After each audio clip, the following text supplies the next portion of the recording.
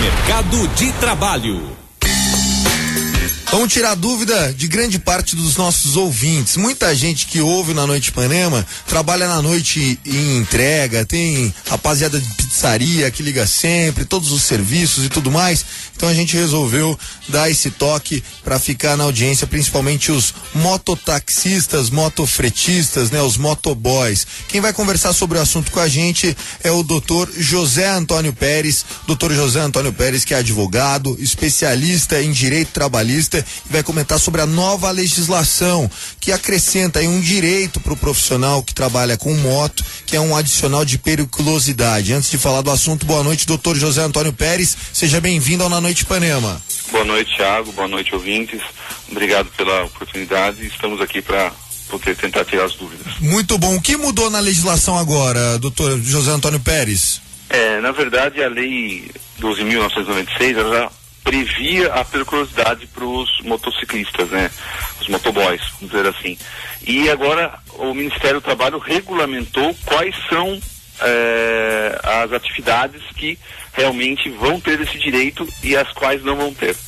Então, motoboy, ou seja, o motofretista, o mototaxista, esses caras têm, né? Que é, esse adicional. Agora fica a dúvida para os outros profissionais, por exemplo, funcionários é, de entrega de empresas públicas como Correios, agentes de trânsito, aqueles profissionais que utilizam da moto como instrumento de trabalho, também ganharão esse adicional? É importante ele saber qual foi, apesar de ser concurso público, qual foi a via de contratação, se foi estatutário ou seletista. Se ele for seletista, ele vai ter esse direito sim, esse adicional. Entendi. Desde que, obviamente, ele utilize como ferramenta a moto no seu desempenho, né? No função. seu desempenho da função. E qual é o adicional para quem é patrão e agora já está pensando, ih, mais uma? Não acredito. Como é que, o que que isso impacta na vida do profissional? Qual é o valor? É 30% sobre o salário base, não sobre o salário mínimo que é insalubridade. Então a periculosidade é 30% sobre o salário base. Então se a pessoa ganha mil reais, ela vai ter 30% de aumento em seu rendimento. Uma ótima notícia para a categoria, hein? Tem gente fazendo churrasco até hoje, Luizinho. E uma Sem péssima para os patrões, né? Que já estão enforcados, né? É, o problema é que possivelmente eles repassem também isso um pouco para os seus preços, né? Possivelmente. É, mas é, não vai poder passar os 30%. Não, não, com vai, certeza vai, não. vai. Mas é um direito, né? Afinal, o trabalhador utiliza isso para realizar a sua função e o número de acidentes, né? O risco da profissão é muito alto, né, doutor?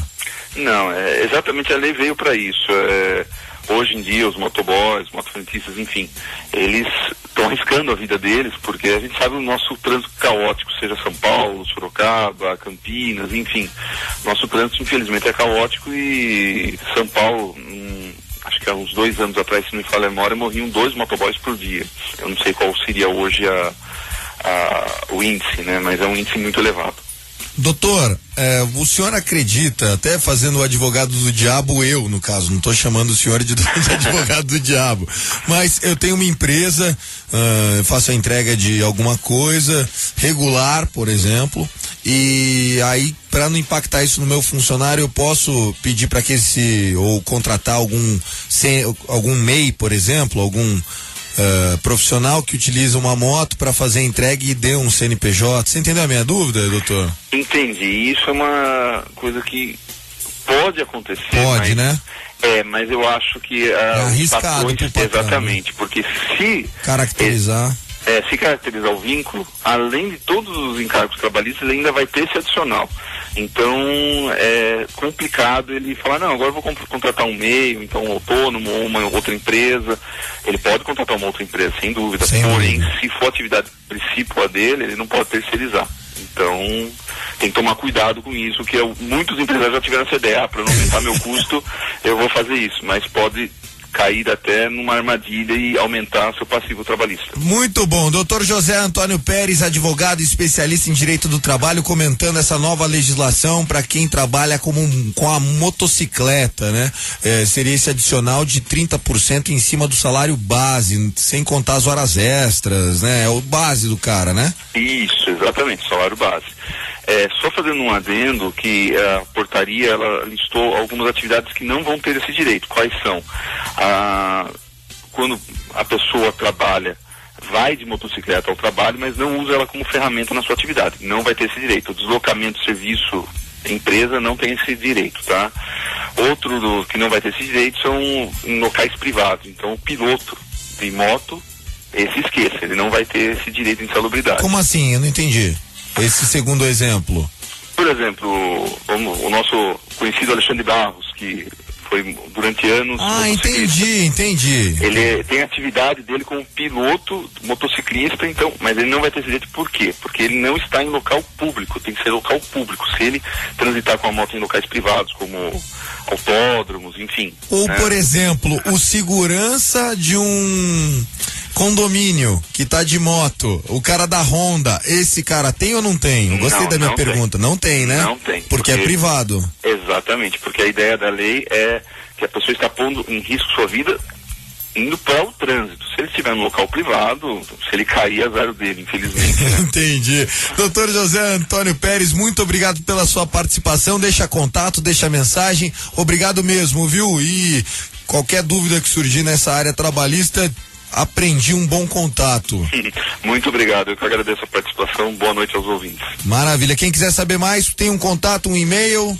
É josé.pérez, com S, arroba, M de, vou soletrar, tá? M de Maria, A de água, C de casa, C de casa e P de pato. Então é M-A-C-C-P, ponto ADV, ponto BR. Não é um dos mais fáceis do mundo, hein? Eu vou tentar ver se eu decorei. José.pérez com S, arroba M-A-C-C-P ponto ADV de advogado ponto BR de Brasil. Exatamente. Ufa, decorei mesmo.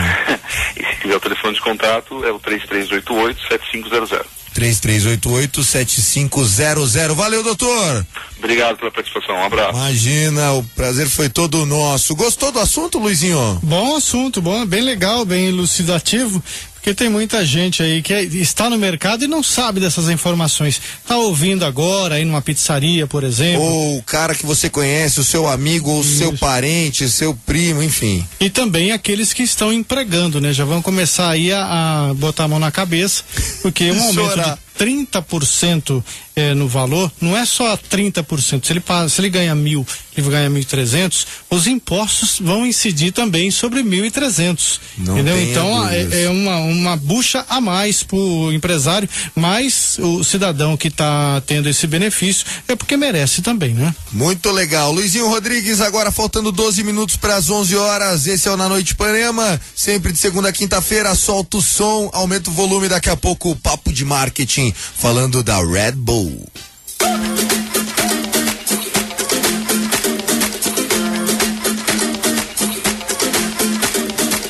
Worldwide to infinity. you know the roof on fire. We gon' boogie, oogie, oogie, jiggle, wiggle, and dance like the roof on fire. We go drink drinks and take shots until we fall out like the roof on fire.